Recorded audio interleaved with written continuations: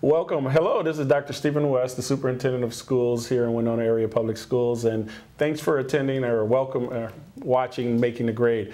Um, it feels like it's been a while since I've been on Making a Grade, and I'm really excited to have Stephanie Gill Gilland. Mm -hmm. See, it's a goofy looking name, Stephanie.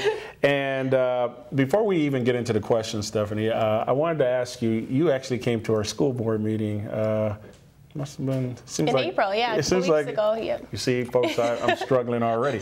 It seems like it was a long time ago, but it was actually just this past April mm -hmm. 23rd, or was it the first board? Meeting? It meeting? was the first board meeting. First board yep. meeting. And uh, we were having you and highlighted the spotlight on success and some of those things. So tell me, before we even get started, how how did you feel um, regarding the, the, meeting with the board. Was that a stressful thing? Was it exciting? It, it was different for me because okay. I'm not public speaking. Okay. I sing Twinkle Twinkle to okay. my little, little one and two year olds yeah, in class, yeah. and that's about it, my extent. Yeah. But you know, I felt very welcomed and comfort. Like as soon as I walked in, I could tell it was a relaxed, knowledgeable board, but mm-hmm. didn't make me feel nervous at all. So once we got going, well, I heard, fine. Well, I had heard that you were a bit nervous, but you looked great. You were doing your thing, and I was like, oh, she, she's hanging there pretty good. So well done. It was just fine. All right, so let's get on to the business at hand. So how long have you worked in the district and, and, and what capacity? Currently, what are you doing and have you been doing that job entirely? Nope, so I've been with the district for nine years. When okay. I first came to WAPS, I came in as an early childhood teacher. Okay, before we go on, is it mm-hmm. WAPS or is it uh -oh. WAPS? Winona Area Public Schools. Let's just do that. We don't. No, no, no, no, because I hear people. say you shouldn't say WAPS because that's a negative connotation. Oh, I don't know. Go, is it WAPS? What do you want it to be? I know I'm the boss, right? Uh, right. Okay, so I don't know. We'll go with WAPS. Right okay, WAPS. Okay, go there ahead. There you go. So, so I nine years in WAPS. Yep, nine years here with you guys. Uh, first, I came as early childhood teacher to ECFE, okay. so I was there for three years. And, and what is that for our listeners? Early childhood family education. Okay. So we serve families with children birth to age five. Okay. Shortly after that, three years later, we went. I went in and got to experience a second grade teaching position and then first grade. So I've been oh. at the oh. early elementary years as well. Mm. And then I was there for five years, and now I've been back to ECFE for okay. two years. So what's that alignment been for you from ECFE to first grade to second grade? I think sure just knowing what, what, happens in yeah. the early yeah. elementary. You know, yeah. we work with the young kids, but then to know the expectations and what okay. the families encounter at that level has actually has helped me grown okay. significantly to bring that um, information back to the early That's childhood fantastic. level as well. Fantastic. So tell us about Community Kids Preschool. So Community Kids Preschool, I've been the coordinator for two years, so it's okay. relatively new for me, but it's a collaboration between school readiness and early childhood special ed. Okay, so our, our listeners are saying, what does all of that mean? Right. So, so let's break it down for them and explain what each one of those yep, are. so it's a preschool opportunity where you have children of varied abilities learning together all mm -hmm. the time. Mm -hmm. So it's a um, great yeah, great place to be with highly qualified staff. All of our staff okay. participate in district staff development and trainings. They're fully licensed through the state of Minnesota. Okay. Um, so they're trained to provide them with their best practices okay. at that level. Excellent. They, yeah. Excellent. All right, so here we are this current year. I'm reading this that says there's been some changes. Now, I, as the superintendent, I should know what these changes are. Um, but there's been changes to community kids uh, preschool. Can you talk to us a little bit about those changes and what's yeah. been going on? So last year, um, changes took place coming into this year. Um, administrative administration decided to make a shift from a special ed model to a general ed model. And okay. what that just means is that their early childhood special ed teachers were feeling overloaded loaded yeah. with having yeah. to adopt a new curriculum yep. to do all the assessments and with their caseload of students. So mm -hmm. what they did was they shifted it and now it's more of a general ed model. Okay. And that really um, has been shown that's a typically inclusive model. It's more often that that's the case than okay. what we had been doing in the past. So for the best of our students so they could get that Absolutely. best um, experience in preschool is to shift that those numbers. That but we way. know how change affects people. So mm -hmm. how are folks feeling about the change? Be honest with the Yeah, it's it's been changed, and I think you when you do things for so long, we've had a very veteran staff, Yeah. and they're very great at what they do and very passionate about what they do. Right. But it's also when you have done something for many years and then telling them to just all of a sudden change, it's hard and it's hard for any of us. Yes. So it has been a trying year, but we are constantly doing what's best for the kids and we continuously remind ourselves and each other that we'll get through it and it's just a I, process. am glad you said that, Stephanie, because I, I do, I, I really do want our community to know we don't change for change's sake. I mean, that we're, we're not here to change. We're trying to do what we think is best practice for Mm-hmm. kids. And our little kiddos, we believe this is uh, something very important for their successes as they get ready to move up the, Mm-hmm. the, the, the ladder there. So I, I hear you. It's Trust me when I tell you, change is very difficult sometimes. So tell me about preschool standards wise. Are there standards in preschool? I know the answer to this, but are there? Mm-hmm. Yep. And tell me uh, who developed them. Okay, so we have the, in our preschool, we um, acknowledge early childhood indicators of progress, and that came from the Minnesota Department of Ed and the Minnesota Department of Human Resources. And what it is is just a collaborative effort to show that um, kind of the standard expectations of children at that age. And so between families, the early childhood professionals, uh, policymakers, the community in general, there are standards that we can live by, but to know that it's all a guide and framework for us to all work together, because that's really when you have those early learners, we are all working together to process and develop those, you know, healthy, well-functioning children that we want to raise. So this year we have been unpacking standards across our system. Uh, uh, talking about a little bit of change for folks, but we have been unpacking all the way through elementary through 12th grade. Have you played a role, uh, preschool played a role in uh, those unpacking standards as well with the rest of the Yep. K-12? Yep, and we are so fortunate and thankful Good. that the district has really Oh, kind of wrapped their arms around us because you know we've always just kind of been the early childhood and we are part of the process, but we just kind of always done our thing. So Right. we've had great, great experience this year for the district to say, yeah, what do you guys need? What can we do to support you in that? And the staff has been great, and it's really led to a learning community that they collaboratively and effectively Mm-hmm. can use data and process the data, talk about it to maximize that student learning. And that's, you know, I, I, one of the concerns I have is we are beginning to drop as low with our youngest kids around evaluation, but it is so important when we assess them. And so I, I really do appreciate that you're looking at assessment, mm-hmm. you're trying to figure out how these kids are doing it because we have to get them ready to read by third grade. So mm-hmm. we have to look at our earliest learners. And so I don't see it any other way that you can be disconnected from kindergarten, 1st mm-hmm. second grade, third grade. You have to be an integral part of that. And so it's been exciting to see the alignment of standards and going, okay, there's preschool, there's kindergarten. That's that's pretty awesome. And I'm sure you folks, uh, uh, you, the staff has really enjoyed that component. Yeah, I- and it's intimidating to see if we say we're testing preschoolers. We're not testing, we're Right. observing preschoolers. Right. We're using our findings Right. to guide That's a good our instruction and our lesson plans. So we're still playing. The kids don't know any different is happening. the teachers are just trained in observing and knowing how to take tho- those observations of play to guide them to where we need them to go when they transition into kindergarten. So. So like today we have ACT and MCAs going on. They're not doing that. At We the- aren't. We are. No. okay, that's great. That's great. Okay, so let's talk about this four-star rating that we have in preschool, uh, which is pretty impressive. It is, and I, if that's the one thing, like I said to the board meeting, even coming here, if that's the word that we can get out, that's that was my purpose. Is we are a four-star rated program, so really, it's hard. I mean, it's nice to say we're one of the best. I mean, mm-hmm. with- that's the highest rating that we can possibly get, and what that means for families is that mm-hmm. we are we're a high-quality preschool program that is trained and ready to get your child ready for a successful transition into kindergarten. But the most important part is is it gives us the opportunity to award early learning scholarships to eligible families. yeah, yeah. And with that, um, those scholarships, each student that qualifies can get up to five thousand dollars to use towards their um, early education of their choice until they enter kindergarten. Okay. And so they can use that money out at Community Kids Preschool Wow. and attend at no charge.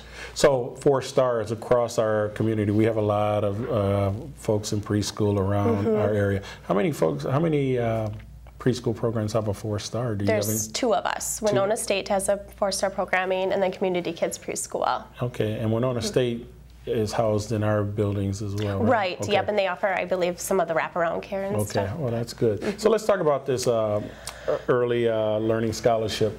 So how do parents access this? Do they have to hit a threshold? Do they have to fill out paperwork? How does that work? It's, it's for in, income eligible families, and those guidelines are posted on our community preschools tab, which is located within the district website. Mm -hmm. So if you go to uh, winona.k12.mn.us into the community tabs, that's all laid out. Otherwise, simply contact myself okay. out at the early education Excellent. offices, and that's 4940913. Tell and I'll, again. Yeah, 4940913 free. We and, love you. Yeah, I will sit down and we'll fill out the paperwork together. It's not a, a daunting application process okay. at all. Excellent. Um, so we'll do it and we'll get it sent in and get you into the preschool as soon that's, as possible. That's wonderful. Well, I know we're down here.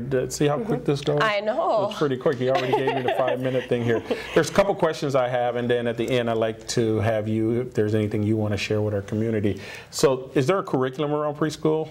We have adopted the creative curriculum, and that was part of getting our parent aware rating okay. for our four stars okay. That we had to um, adopt some sort. We've chosen the creative curriculum. It aligns very well with the Winona Area Public Schools goals and as long and as well as the early childhood indicators of progress. Excellent. So it's all research based and it promotes the exploration um, and discovery. So you're building, you know, the confidence uh, and the critical thinking and the creativity yes. just built right into that natural play that happens Absolutely. in the preschool. Wonderful. Last question I have for you, uh, Stephanie, is changes happening next year? You know? We are. So through our professional learning communities that again the district has graciously allowed us to participate oh, she's in. been very nice to me right here. I mean, it's very good. but our teachers were struggling with um, how to differentiate, how to get those little ones that just turned three and the ones yes. that are going to kindergarten. There's a lot of learning that's happening in our little brains that we're serving, and so they were struggling constantly to you know adapt those. So we are going to use that um, those findings and move forward into age-focused classrooms. So next year we have a Bright Beginnings program and a Smart Start program. And so we'll have a three-year-old classroom and four-year-old classroom offerings separate. separate. Wow. So we offer two-day programming, three-day programming, and then intensive five-day programming for yes. those that are entering kindergarten. So we're using our findings. We're going to give them the best. Um, Do families really like the five-day program? We filled within a day of opening our slots this year. Is so that I mean, Just yeah, like that, it huh? did. It, we blinked and it happened, and we smiled and said, "Oh no, not what." so, but it's good. It's uh, it's wow. good. I mean, so it's showing. Yes, yeah. Families are investing in that early learning and they're understanding the importance of how that's happening. So three day, four day, and then there's two day, three, three day, day, and, five day. Intensive 5 mm -hmm. day. For three and so parents still get the choice of what they yeah. like to see for their yep, kids. absolutely. Wow, it's amazing. Well, we're down to the last few minutes okay. of this first segment. Stephanie, anything you want to let the community know? I mean, you guys do amazing work over we there. Do, and I think sometimes being out in Goodview, we're a little lost out there. People maybe don't see a big road sign as they drive by our school, mm -hmm. but we're out there. Come visit us. There's so much happening in those classrooms. Every time I walk through them, I see just so much nurturance and engagement, mm. and the teachers are constantly at the kids' level, and the kids are smiling. They're having a great time. So I, I, I just have this to say as I close out is, you know, I've watched the state legislature and how much the governor is putting the focus on early childhood and some of these programs, and to be able to come as a new superintendent to our school system to see the kind of in-depth preschool programming we already have in yeah. place there are school districts that don't have what we have, and we we we are truly blessed. And I mean, be it Winona State, be it us, be it other schools around us. But I, I just want to thank you and the rest of the team because it makes my job really easy. that because that's our foundation. Mm -hmm. You know, a lot of folks, if we don't take care of it on the front end, we'll spend a lot of money on the, the back end when kids are behind the eight ball and the achievement gap is wide. So a lot of the work is going towards you guys to say, hey, how do we narrow this achievement gap? And so I thank you for that. Um, I'm just overwhelmed actually as a, as, a, as a, the superintendent when I see this type of these type of programs when I have these type of people sit here across from me uh, leading the way here. My job it's so easy when I have talent and so I just wanted to thank uh, Stephanie and the team again mm -hmm. for the work. Uh, I know you're right about Goodview. You can drive by Goodview and be like, what's happening over there? But there are some amazing things, and if you if you don't believe me, go out and take a look at that. Um, I thank you, Stephanie, again for coming. Uh, we'll be back in a moment after this break to making a grade. Robeson Family Vision Center is always changing, continuing to provide you with the latest technology. Today, we're changing our logo from Robeson Family Vision Center to Vision Source. Vision Source is North America's premier network of private practice optometrists. We've been a member of Vision Source since 2006. Robeson Family Vision Center is proud to be Winona's Vision Source. And remember, at Robeson Family Vision Center, we make the time to answer your questions. At HBC, we strive to be the leader in internet, video, phone, and more. A visionary in residential and business fiber optic networks. HBC is growing Minnesota broadband by providing unparalleled local personal care from your friends and neighbors. We know it's often the little details. That's why HBC is committed to being attentive in all facets of our business with a very strong emphasis on customer service. Call 888 474 9995 and start experiencing the HBC difference.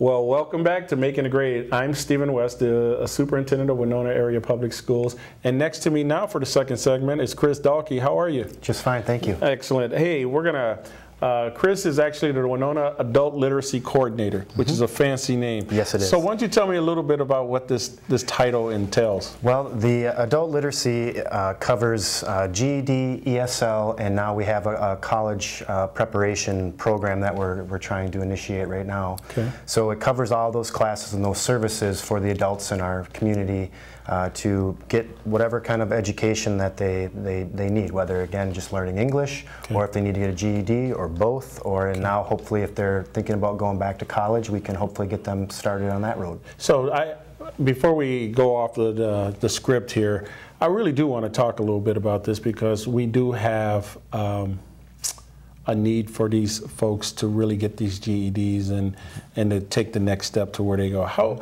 is it a big group of folks that we deal with in our community, or do they access us well, or we, uh, you know, it's it's probably not a, a, a, large group, but it is a it's a, a, a very a group that does need that those services. Right. And you know, these are usually um, folks who have had a hard time in school in the past right. and maybe having some, some difficulties in their life. So hmm. um, for many of them, the, the desire is there, but not, It's, sometimes it's, it's difficult for them to, to follow through because right. of life. Right. And we try to do whatever we can to help them along the way, not just give them the academic skills, but try to help them, you know, find, figure out ways uh, to, to deal with those life issues that can help them uh, fulfill their educational desires. So what does that look like for uh, a person? So I come in and I mm -hmm. really want to get a GED or mm -hmm. whatnot.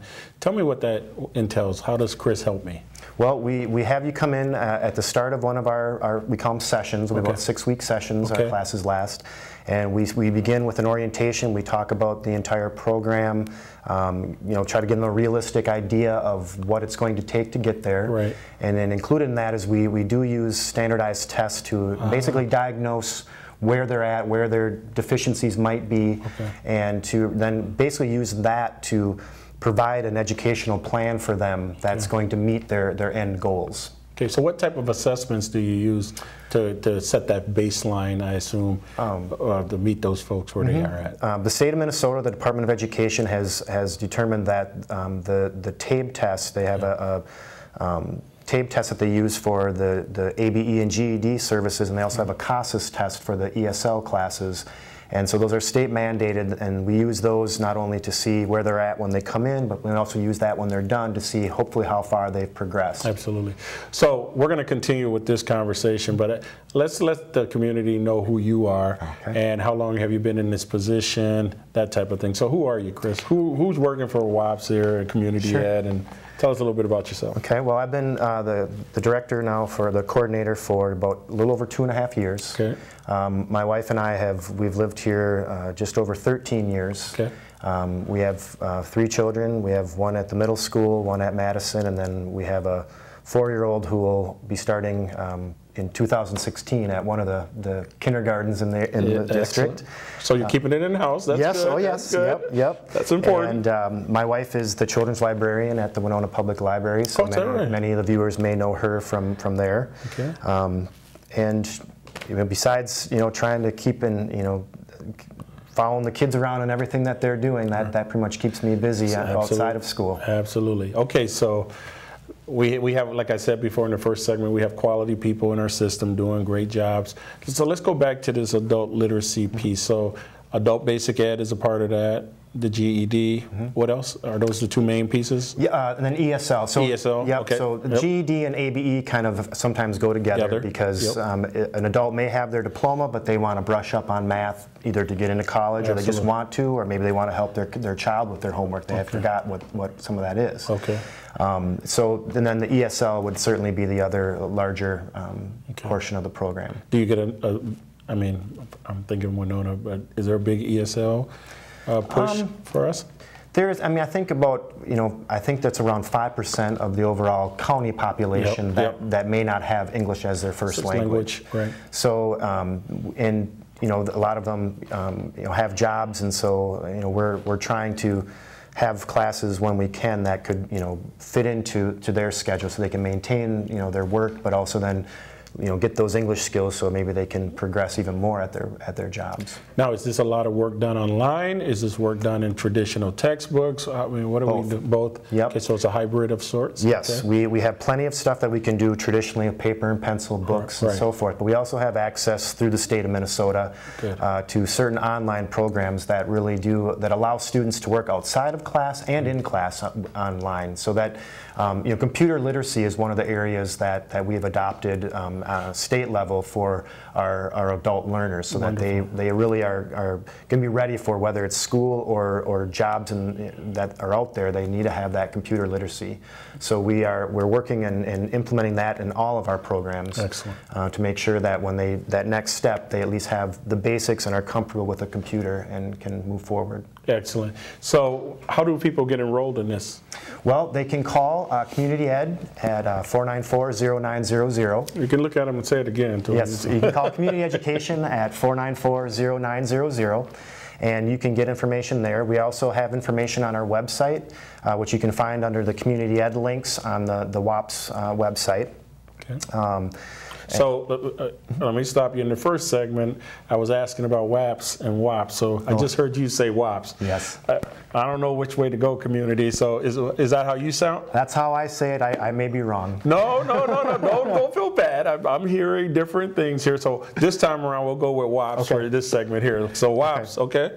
Yep. Okay, so where are the classes offered? Uh, we, we actually have two different classrooms. We, we have classrooms at the Winona Area Learning Center, and that's where primarily our ESL and our GED classes are. Okay. And then we also have a partnership with uh, Southeast Technical, and we have a classroom over there, room 311, that we um, are, are using now and we plan to use more in the future. Excellent. And so we have, we have access there, obviously, to the programs at Southeast Tech, at least getting students uh, information on those programs, and also with the Workforce Center there, we, we have, you know, all three of us working together for students to hopefully um, get them a job, get them in a program, a degree of some sort. Right. Um, and, but also, like I said, we also have the option at the, at the Area Learning Center if, if that is a, a closer or a more viable option for students. So you might know this, you might not know it, but what is the demo, do you have an idea of demographic breakdowns of our students there in the program? I, you know, I don't off the top of my head, Okay. I'm sorry. Oh, no, no, don't apologize. Don't apologize. Anything new on the horizon? Yes. Okay. Um, as part of, um, and I think many of you, if you've been, you know, reading the local newspaper and finding, um, you've been hearing a lot about this either developmental or remedial classes that a lot of students end up having to take as they get into college, and that is, is in many ways detrimental to some of them. And so we've started a, a, a college success initiative, CSI, and we are we're hopeful. That's pretty creative. Thank you. Yeah, thank you. I figured it'd be catchy enough people would Yeah, recognize that's it. pretty creative. Okay. And, um, and so in conjunction with uh, Southeast Tech, we're able to offer Yes. um, beginning courses in English and math that Southeast Tech will recognize. If our students are successful in these classes, Southeast Tech will recognize that and allow them to register for the next class in that series. And our classes are free, so in, in many ways for you know, students in the old days, they may have to take three of those classes before they have to take the one that's actually mandatory for their program. Mm-hmm. And at least we're, we're hopeful that we can at least offer them those beginning classes for free to get them started, get them some success, and maybe even get them above some of the other classes by the time that they're done. Okay. So CSI, tell me uh, dates, time. Yes, well, we have um, a reading and writing class that's going to begin on May 18th. Okay. And that's going to run on Monday, Tuesday, and Wednesdays from uh, 1.30 to 3.30, and that's at Southeast Tech, room 311. And then the next week, we'll be starting a math class that begins, uh, that's May 26th through July 2nd. And that's on Tuesday, Wednesday, and Thursdays from 11:30 to 1:30. Um, and eventually in September, we're going to be offering a GED class at Southeast Tech that'll be very geared towards uh, with workforce and Southeast Tech to get them not only the GED, but you know really get them excited and moving towards a career straight from there. Um, and then the last thing that we're going to try to do in the summertime is, is offer an AccuPlacer prep class. Oh, so, so students that are just newly graduated or if they are thinking about going back to school, they will have the opportunity to, to take a, a, a six to eight week course um, that you know really looks at the math, looks at the English, looks at test taking skills and strategies, so that when and when they go to take that AccuPlacer test, whether it's at Southeast Tech or another MnSCU school, um, they're hopefully very prepared and will you know maybe test out of all those those developmental classes. I mean that'd be the, the ultimate goal. But if they can test out of one or two of them, save themselves some money, Money, yep. and and start successfully, that's that's the ultimate goal. And the AccuPlacer prep will start on July 7th. And you can get all, all this information is on our website, and, and you can always feel f- uh, free to call Community Ed. We have all the information there if you have other questions. You know, Chris, as we close out uh, this segment, um, I just had Stephanie on the first segment, and we talked about reaching the, the, the earliest learners so that we can get them reading and writing by third grade. And, and now on the back end of that, now we're talking about a group of folks who I would call at risk uh, of not uh, getting their diplomas and whatnot, and how important it is to continue to try to reach that entire uh, the entire spectrum of learner. And I, I can't thank you guys enough for the work that you're doing. Uh, I know Margaret Shields over there, yourself, and you know you guys are doing some amazing things here to make sure that we give an individual every opportunity to get that diploma and. Uh, and we're really serious out there. If you're out there and you you're thinking about coming back, come on in and and let us uh, help you with that and, and work through that. Just amazing. It really does go to the whole list. I, have been really blessed to be the superintendent here in Winona because I see high quality work across the spectrum. So thank you for that. You. Um, here I am at the end of my, uh, our uh, our making a grade, and uh, I. I have to tell you, uh, community, I, have been dealing with allergies, so I'm off my game a little bit on this and uh, uh, stuffy and whatnot. So forgive me if I've been choppy today. Um, but uh, I couldn't uh, thank uh, our folks any more than I do, and just so appreciate you guys. So appreciate the work. that will end the segment on making a grade. I thank you very much as superintendent of schools, and we'll see you next time on making a grade.